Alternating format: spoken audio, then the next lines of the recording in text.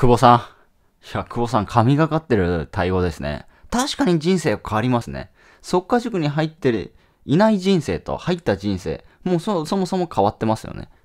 その自分の人生の中に速化塾を入っているという人生と、入っていないという人生。鬼滅の刃を見に行ったという人生。映画館で見に行ったと。このコロナの状況でも映画館に見に行ったという人生。映画館に見に行かない人生。これは違いますよね。間違いなく。歴史の1ページ変わってますよね。確かに。確かに。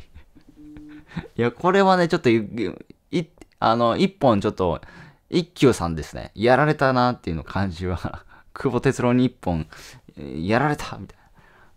座布団1枚みたいな感じですけど、まあ、今回はドストレートに、速化塾に、えー、入ったら稼げますかこれに対して久保さんの、またちょっと、どんちを聞かしたなんかあれを聞かせていただくと、クラウン良かったですね。クラウンと車の話は。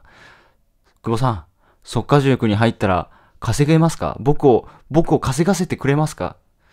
あのー、月収100万僕でも行きますか？速化塾に入っただけで稼げますか？